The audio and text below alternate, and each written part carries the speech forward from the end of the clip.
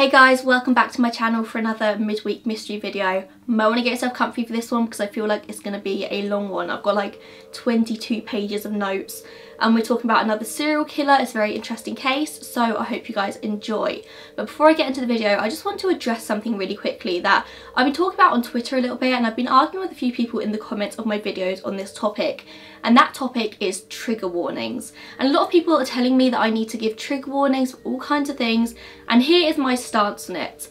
If you're clicking on a video that is entitled The Murder of whoever or The Strange Disappearance or like things like that, that is your first clue that the topic I'm talking about isn't best for the most sensitive of people. I'm talking about murder, I'm talking about true crime and unsolved disappearances. These aren't easy things to hear for everyone and I get that but people keep telling me that I need to put trigger warnings at the beginning of my video to say what I'm going to be talking about but the clue is in the title of the video. Do you get what I mean? And like I am open to maybe discussion about this but I feel that people are being a little bit too sensitive because when you're clicking on a video that is entitled the murder of this person or like this video is probably going to be entitled the Texarkana Moonlight Murders or something along that line you kind of know what you're getting into. Um, I also get a lot of people telling me that I need to put in trigger warnings when I'm talking about rape or sexual abuse and of course I understand that but I don't talk about rape or sexual abuse in detail on this channel and I do that for a reason and that it's not always the nicest thing to hear about. I always say if people want to hear more details about something, Google is your friend. So for example, if I am to say, trigger warning, I'm about to talk about rape, I'm not going to be talking about rape in detail. I literally just say the woman was raped, the woman was sexually abused. I will not talk in detail. So I have a lot of people telling me I need to like say I'm about to talk about rape before I talk about rape, but the like the sentence would literally go, trigger warning, I'm about to talk about rape. The woman was raped. Like, do you get what I mean? I like, it just seems a little bit unnecessary when I don't tend to go into details about this kind of thing. If I was to go into more details, of course, I would pre-warn you before I did that, but I rarely, rarely do. And the third one that I get a lot of people telling me to put trigger warnings for, and this one drives me insane, is when I talk about animals dying. And my stance on this one is pretty self-explanatory, I think. If you are more affected by an animal dying than the gruesome, brutal murder of a woman that I'm talking about, then I feel like it would be insensitive of me in a video to say, oh, trigger warning, about to be talking about a dead animal because I'm already talking about murdered humans. Do you get what I mean? If you're sensitive about an animal dying, should you really be watching a video about a human dying? And I am open to conversation on it, but I do try and be as sensitive as I can in my videos, but I cannot preface every single thing that I say with a trigger warning. Do you get what I mean? Like, I'm sure you do. I'm already just waiting for the barrage of hate I'm to get for that, but I just feel like it needs to be said. I have addressed it on my Twitter and I've had some people argue with me about it, but I know where I stand and I hope you guys are okay with that. So now let's get into the mystery. So this week we're talking about the Texarkana Moonlight Murders. I am pretty sure that I'm saying Texarkana wrong, but in my accent, if I say Texarkana, Texarkana. It sounds like I'm trying to do a really bad American accent. Texarkana. so I'm going to say Texarkana, but I'm very aware that that's probably wrong, so do not jump down my throat. Texarkana? Cana? Can't. My accent just does not work. so throughout the spring of 1946 in Texarkana, Texas, a phantom killer, as he became to be known, started to murder young couples. Throughout the summer of 1946, the entirety of Texarkana lived in fear. They wouldn't leave the house after sundown. They were just in complete lockdown. And it's been many, many years since the murders, but nobody has ever been convicted of them. The attacks all took place on weekends and after dark, like I said, targeting young couples. The first attack took place on Friday, February 22nd, 1946. It's about 11.55pm and 25-year-old Jimmy Hollis and 19-year-old Mary Larey were attacked whilst parked in a secluded lover's lane. It was just outside the city limits, very secluded, quite dark, and obviously they'd gone there for some privacy. They'd only arrived about 10 minutes earlier when a man walks up to the driver's side door where Jimmy sat and shines a bright flashlight in his eyes. Jimmy, believing he's been mistaken for somebody else, says, Fella, you got me mixed up with someone else. You've got the wrong man. The man is still shining the torch into Jimmy's eyes and is also holding a pistol and replies saying, I don't want to kill you, but do what I say. He ordered both Jimmy and Mary out of the car and they both got out through the driver's side door. The man says to Jimmy, take off your fucking breeches. So as Jimmy bends down to take off his trousers, he is hit over the head twice with a large blunt object and he's hit so hard that Mary thinks he's been shot because the sound of Jimmy's skull cracking was so loud. Mary then has a brief conversation with the attacker about money. She's basically saying to him that they don't have any money on them and the attacker bends down and gets Jimmy's wallet out of his trousers and sees that he doesn't have any money. Mary's then knocked to the ground with the same object that was used to attack Jimmy. While she's on the ground, the man tells her to get up and run. So Mary starts running and the direction in which she's running there's a ditch and the man says to her, no, don't run that way, run up the road. So Mary, of course, starts running up the road as fast as she can. There was an old car parked nearby that Mary ran to for help but there was nobody there so she continues running up the road. Then the man catches up with her and he asks her why she's running and she says because you told me to and then he starts calling her a liar. He knocks her to the ground and sexually assaults her. Now like I said at the beginning of this video, not going to go into detail but the details of this are on Google on the Wikipedia page if you do want to have a read. She manages to get up and is saying to the man, go ahead and kill me. But he doesn't really do anything and she just continues running and he doesn't follow her. She runs half a mile to the nearest house and she gets their attention and they alert the authorities. Obviously by the time the police get there the attacker is long gone. However Jimmy's still alive. Jimmy was hospitalised for several days with severe skull fractures. It was fractured in three places but he leaves hospital in the end and he's fine. Mary only spent one night in hospital. She wasn't actually that injured, just very shaken up. Now authorities question Mary over these attacks, but they don't believe that she was actually attacked by a random person. They're basically trying to coerce her into saying that she knew who did this to her.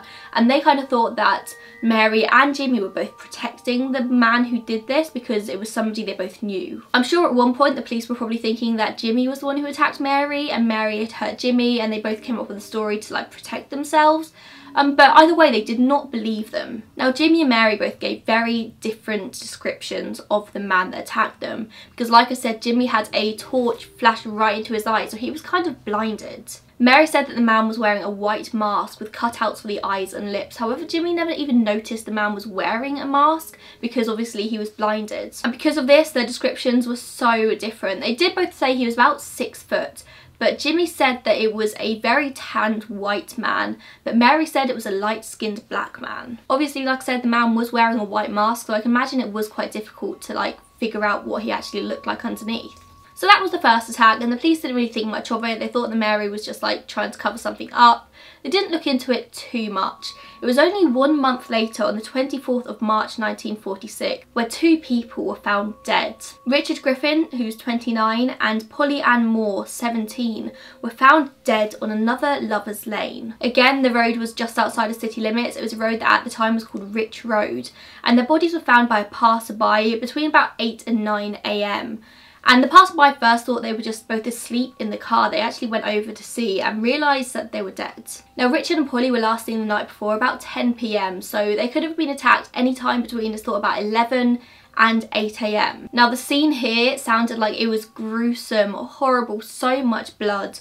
Richard was found between the front seats of the car and he was kind of like in the fetal position. He was on his knees, his head was resting in his hands. His pockets were turned inside out like somebody had gone through them. Polly was laying face down on the back seat, her purse lying next to her. Both had been shot in the back of the head and bloodstains on the ground outside of the car actually suggested that they'd both been shot outside of the car then whoever had done it had put them in the car which makes the sort of position of Richard's body even that more creepy because it's like somebody has kind of put him down. Maybe it looked like he was praying. It, it's just a very weird thought. Now I couldn't get the facts 100% on this but a couple of reports said that Polly was actually shot on a blanket in front of the car. But there was also another report that said another blanket had been used as a kind of muffler for the gun. They had both been shot with a 32 caliber revolver. Of course the bodies were taken to a local hospital for an autopsy and they did a standard autopsy but obviously they'd both been shot in the head. Their cause of death was pretty obvious. However, there was a mix-up between the hospital and the funeral home and the bodies were actually picked up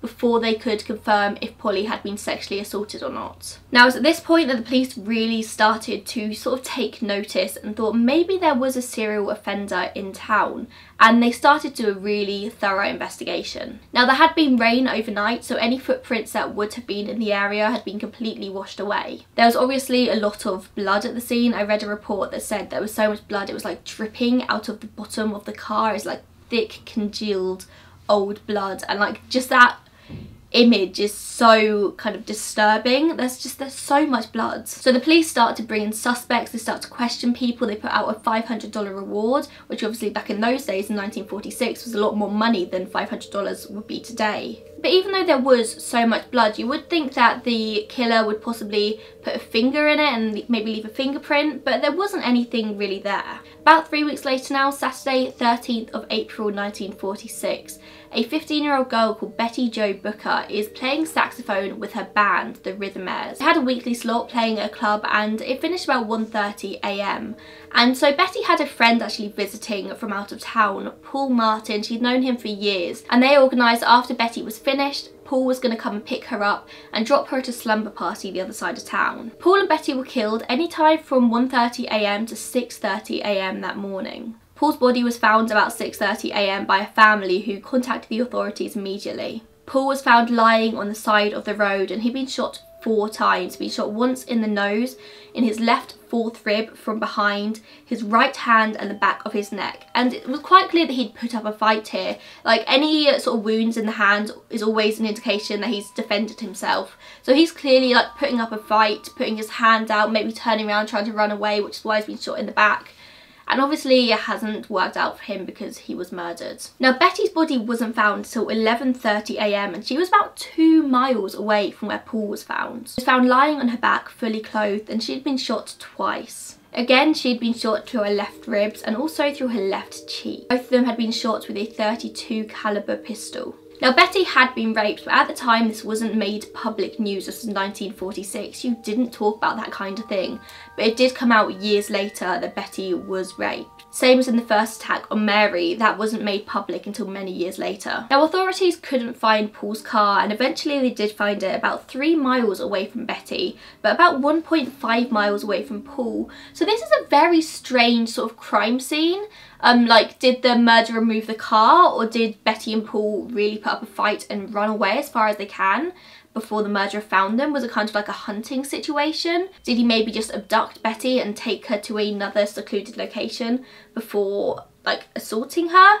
It's just a very strange like scene here. Something the police very much focused on in this case was Betty's saxophone. Now obviously Betty had been playing her saxophone with the band, she would have had it on her and people confirmed that when she left she 100% had this saxophone.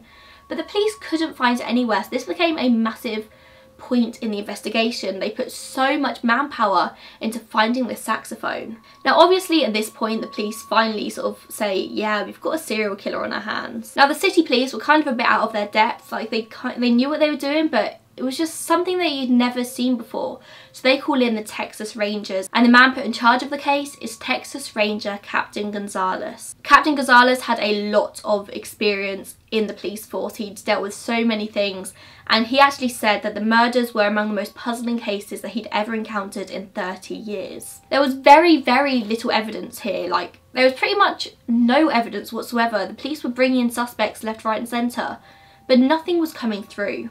Now the media and the authorities worked very closely together in this case. Before the media printed anything they checked with the authorities that was okay. The media purposely held back things that the police could use in their investigation. And Captain Gonzalez was very popular with the media, especially female reporters because he was a very good looking, tall, authoritative Spanish man. The female reporters really latched onto him and they listened to his every word which is I think part of why this case became such a media sensation because everyone wanted to talk to Captain Gonzalez. The city was gripped with fear at this point. Everyone was totally on edge. Police were roaming the streets 24-7 and gun and hardware sales absolutely soared. People wanted to protect their houses, they were buying deadbolts, they were buying metal sheets to put over their windows. Even though at this point the killer had never struck anyone in a house, everyone was still totally on edge. And of course, it's America. Gun sales absolutely soared, but ironically, this actually led to more murders. People were so on edge that people were just shooting each other in the streets for making each other jump. I read a story about a man walks into a bar, maybe he walked in out of hours, I'm not really sure, but the barman just shot him just because he walked into the store outside opening hours. And this wasn't really helped by Captain Gonzalez, who was actually reported saying, oil up your guns, do not use them unless it's necessary, but if you believe it is, do not hesitate.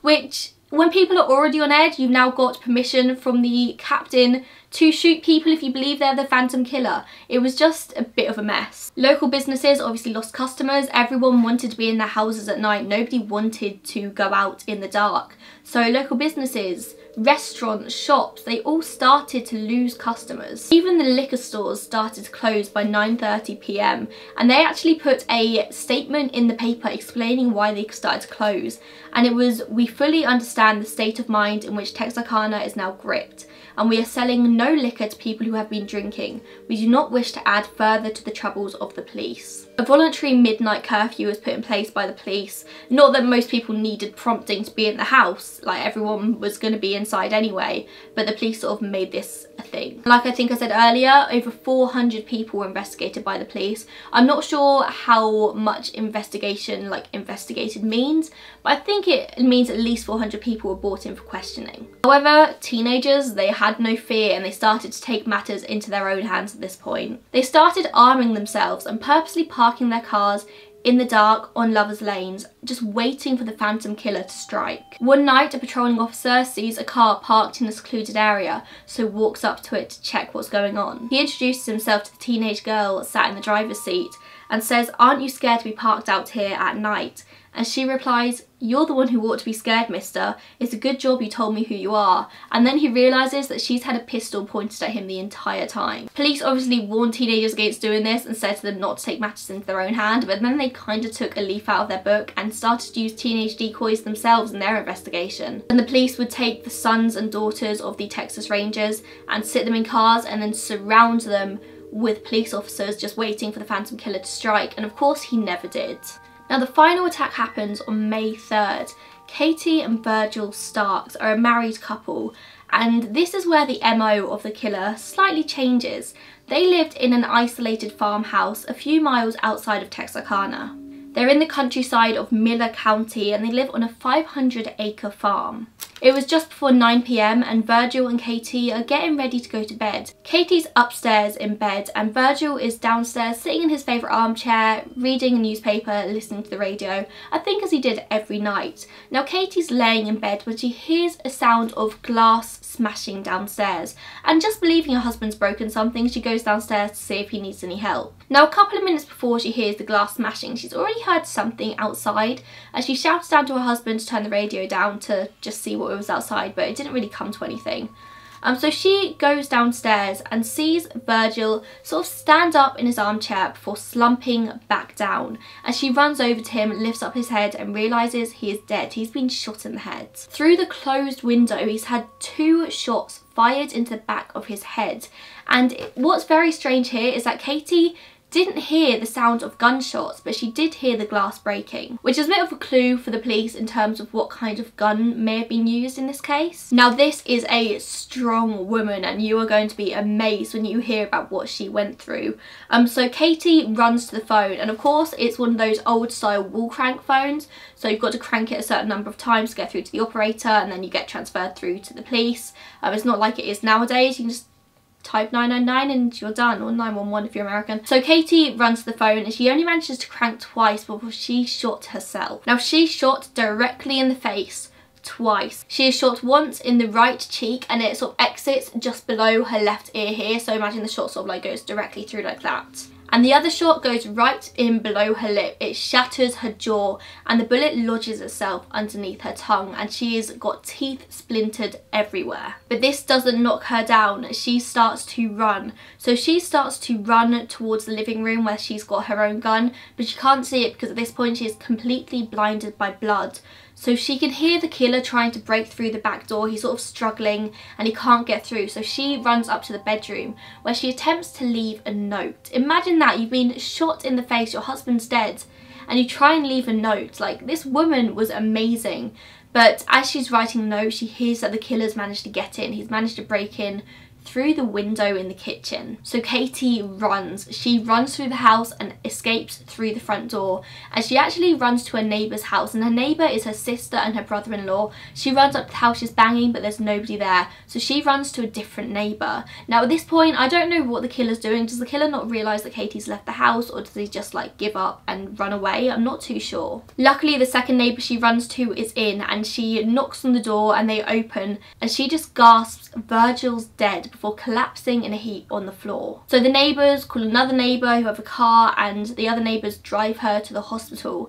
And whilst Katie's in the car, she actually reaches into her mouth and obviously like I said all her teeth are coming out, she's been shot in the jaw and she pulls out a tooth with a gold filling and gives it to the driver as payment for taking her to the hospital.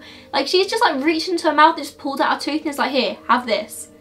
What? Now at this point she has lost a lot of blood but she's still sort of semi-conscious and at no point does her heart rate change, does she go into shock. She is like Wonder Woman. Of course Virgil died but Katie survived and she actually goes on to remarry and lives a full life. When the authorities arrived at her house they say that it's one of the most disgusting crime scenes they've ever seen. Obviously, Virgil's dead.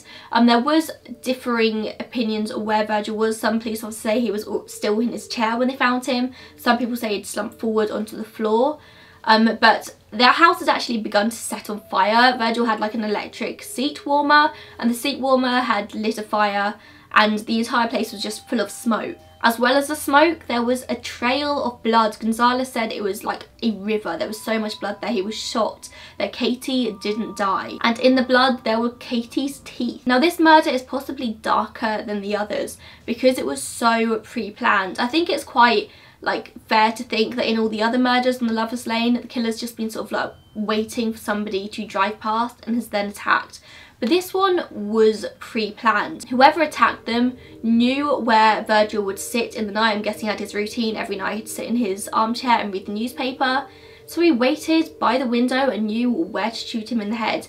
And the killer also knew to wait there for Katie to come down to see what was going on and then knew to shoot her too. The MO here is very different from all of the others but according to the police they kind of had no doubt in their mind that it was the same guy.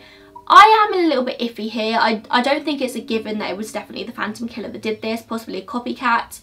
Um, but I, it is also very likely that it is. This was 1940s. There wasn't much crime and especially murder that happened around the area at that time. And in this one, the killer left behind clues. Now in this one, they found the bullets and the actual caliber was different to the bullets used or gun used in all the other murders. The others was always a 32 caliber pistol. In this one, it was a 22 caliber. Again, something else which doesn't directly link the murder to the other ones, but is still very possible according to the police. They actually found the flashlight, the torch. I feel really weird saying flashlight is a torch to me.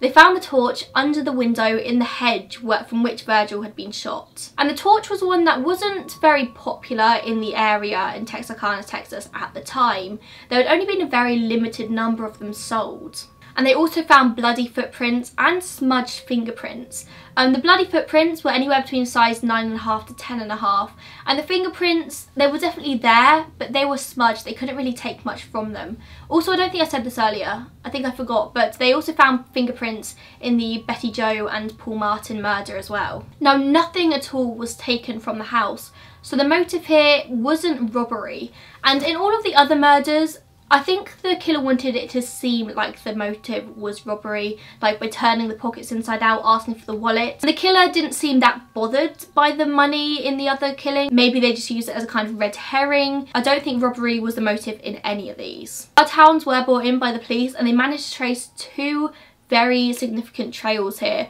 one trail to the near highway and one trail back. It is believed that the route followed to where the car was parked on the highway that the killer would have escaped in. And this actually links to the biggest lead that came through in this case. A 33 year old officer called Max Tackett actually realised that on the night of each murder, a vehicle was stolen, but also another recently stolen vehicle we found abandoned. This is a very significant point, but we'll talk about why it was significant in a little bit. Around this time, something else happened as well. It was six months after Betty Jo Booker and Paul Martin had been found dead, and Betty Jo's saxophone is finally found. Now, bear in mind, I said that so much police time and effort was put into finding the saxophone it was actually found less than about 150 steps away from where Betty Jo's body was found. It seemed that Betty Jo had just sort of thrown her saxophone and it had been lost in the growth. A man had even been arrested and made one of the prime suspects in this case because he had walked into a pawn shop and had inquired about selling a saxophone but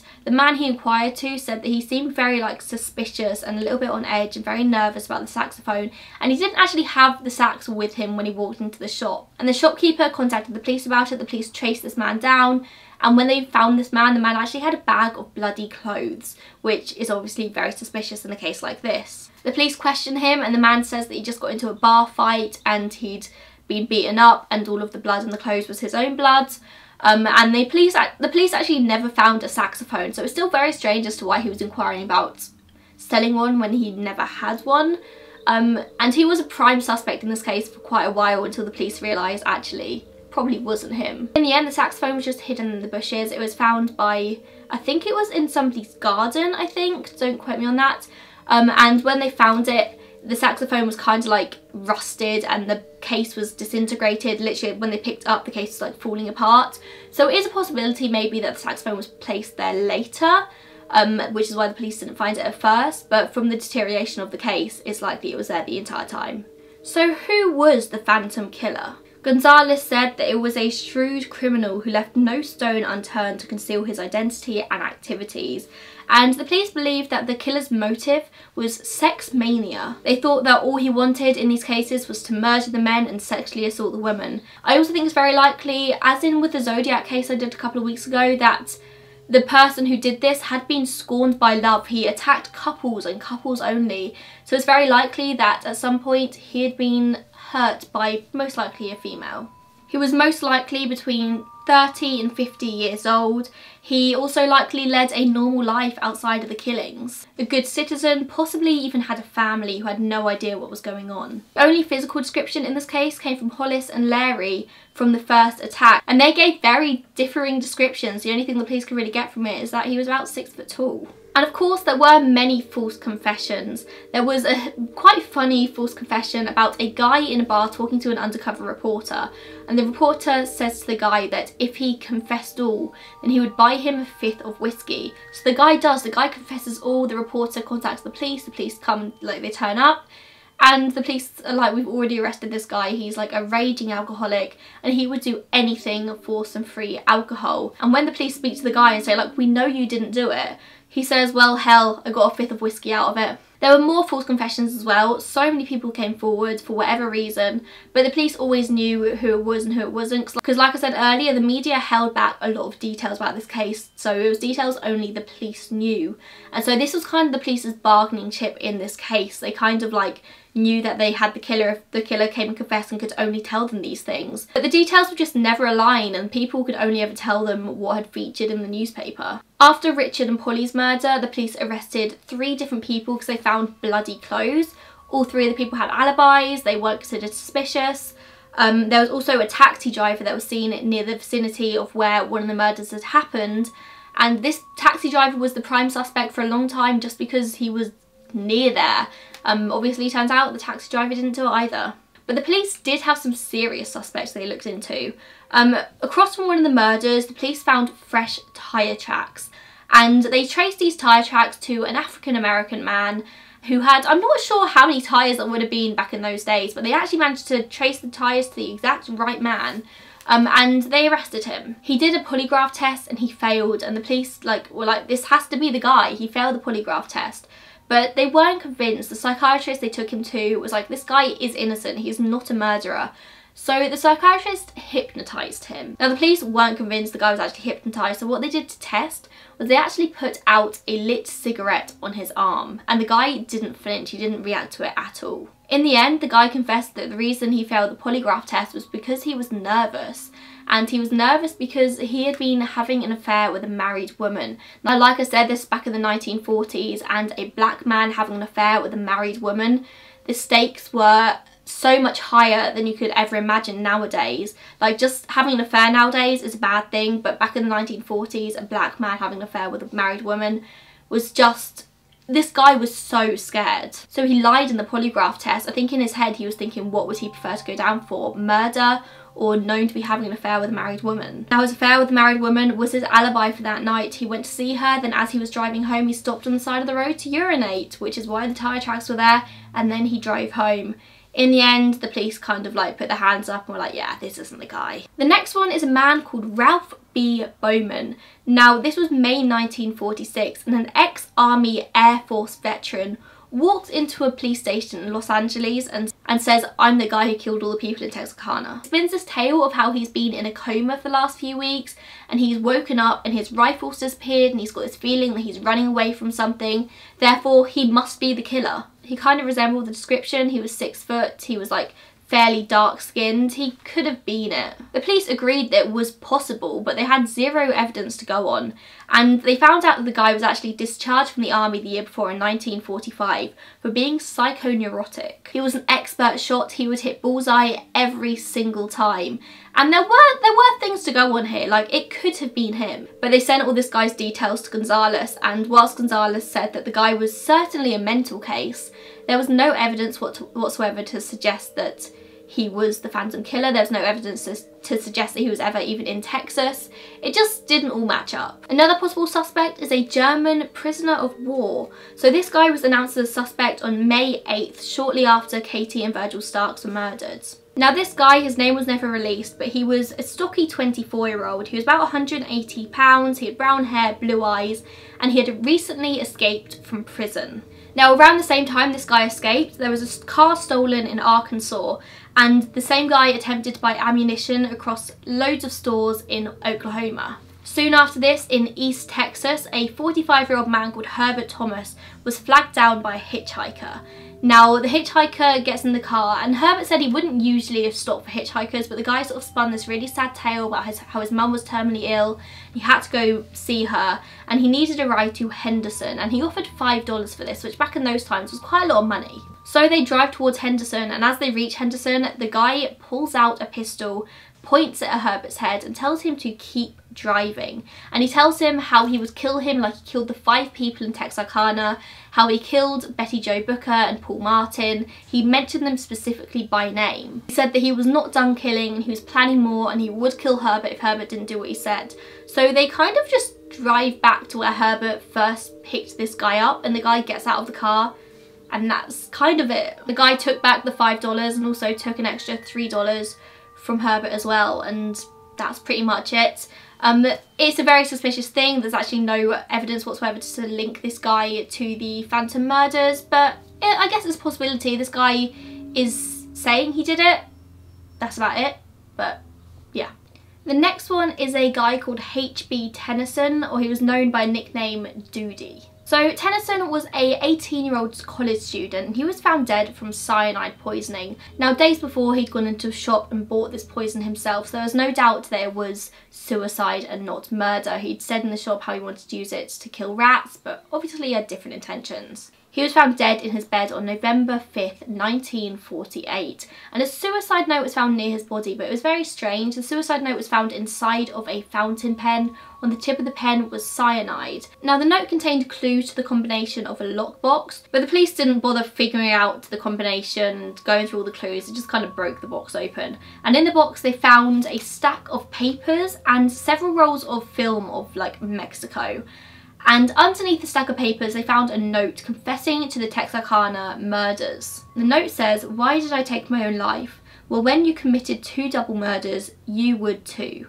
Now the police were immediately a bit dubious because at the time Tennison would have only been 16. He was extremely shy, he didn't have many friends and he actually went to the same school as Betty Jo Booker and even played in the band with her. They weren't friends, they just sort of were in the same school. But when police searched his room, they also found loads of other letters as well. They found like so many like drafts. None of them had dates. They didn't know in which order they were written. But they did find one note that said, please disregard all other messages which I have written.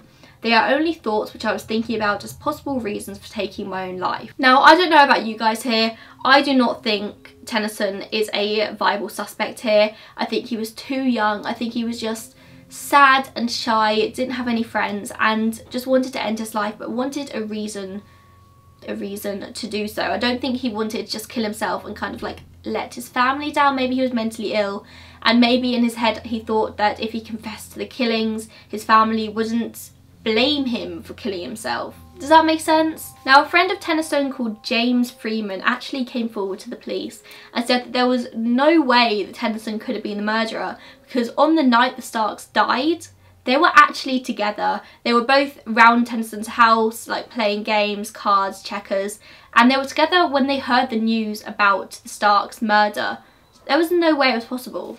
But the police did carry on looking into it anyway and then they realised that his fingerprints didn't match the fingerprints found at the scene. Although saying that, the fingerprints found at the scene of Betty and Paul's murder they're thought to be the murderers. They might not even be the murderers, they might just be some random fingerprints. So it's a very loose fingerprint match thing that they would get. Okay, now let's talk about the prime suspect here. The prime suspect is a man called Youell Swinney.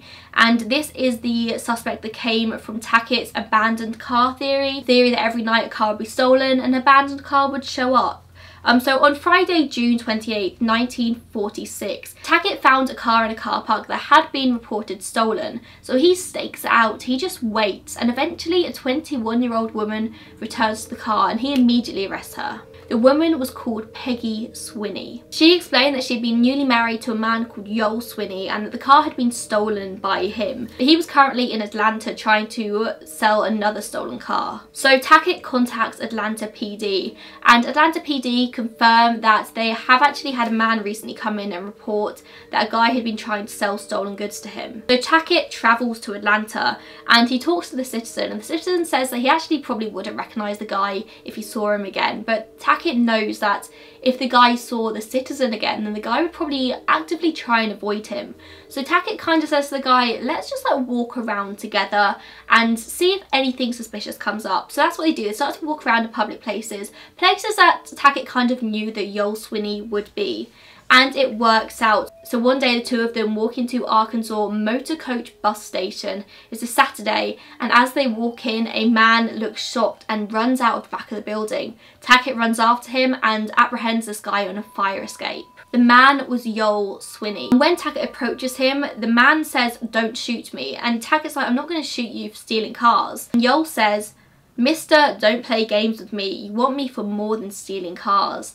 And so Youell is put into the back of a police car and there's another police officer in there called Johnson and Johnson's talking to Youell and Youell says, Mr. Johnson, you got me for more than stealing cars. So whilst Tackett's got Youell in Arkansas, Peggy Swinney starts talking back in Texas.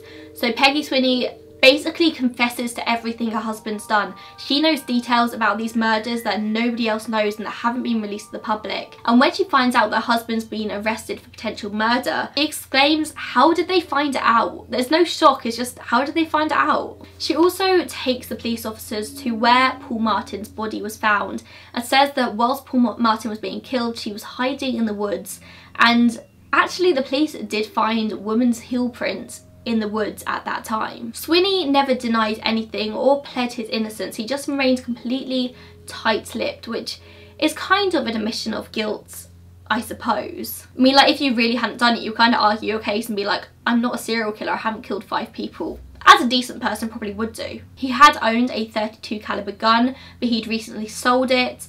And he also had a work shirt found in his house and apparently when the work shirt was sort of shone under black light it's had the word Stark written on it. Sounds like damning evidence doesn't it? Like it's it sounds like you can't really argue with this. However, Peggy actually recanted her entire confession, said she'd made it all up, and because the laws at the time, they couldn't make Peggy stand trial and say anything against her husband, so they kind of had to just leave it there. Youell couldn't be convicted for murder, but they did put him away, I think, for 20 years for car theft, so Regardless, this guy went to prison for a long time anyway. Now police worked day and night trying to confirm Peggy's story but they could never actually confirm it. She said a whole lot of things but the police could never confirm any of it and I think in the end they confirmed that when the Starks were murdered the Swinneys weren't even in the area, they were in San Antonio. Youell Swinney is definitely the most likely suspect here, without a doubt, but the, the police don't really have much to go on. They don't have any evidence. I don't think they could convict anyone based on the evidence they have unless they have a bulletproof confession here. It's likely that Peggy Swinney said what she said for attention. Maybe between the two of them, the Swinneys had come up with a story. Maybe they were both not the most mentally stable people, just liked attention. Or, I don't know, maybe they were convinced they did it and they didn't. Or maybe they did actually do it. So Youell Swinney is the most likely suspect here. I know there have been books written on the fact that it was 100% Youell Swinney. Very likely. But we don't know that. Now I'm sure you're thinking, like I was thinking throughout my research of this, there are a lot of similar links to the Zodiac. Could the Zodiac and the Phantom Killer be the same person? It's unlikely here. Their MO was very similar, young couples on lovers lanes. However, the Zodiac never sexually assaulted any of the women. He just like to murder them. It's very possible that Zodiac was, let's say, inspired by the killings of the Phantom Killer, it was kind of a copycat thing and nobody made the connection at the time. However, based on the predicted age of the Zodiac, people said he was sort of between sort of, let's say late 20s, early 30s. If the Phantom Killer was the same person, he would have been under 10 years old at the time, which isn't looking likely, is it? Yes, they've got the predicted age of the Zodiac completely wrong, which is possible. They've recently convicted the Golden State Killer, East Area Rapist, Original Night Stalker, whatever you want to know him as, and turns out that he was a hell of a lot younger than they thought he would be. Nowadays in Texarkana, there are no murders. The murders just kind of stopped and they don't know why. On the 7th of May 1946, a man was found dead on a train track and they kind of just assumed it was suicide or an accident. The guy had ended up on the train track. His left arm and left leg had been completely severed by a freight train going over it. Um, but the coroner actually said that the man had been murdered somewhere else and been put on the train tracks. There was a severe lack of blood at the train tracks, as you would expect if somebody has had their limbs cut off. Police said that this was stupid and he it was obviously a suicide. A lot of people did start to think that this guy was the killer, that this guy had murdered himself and that's why the killing stopped. Or maybe this guy was another victim of the killer.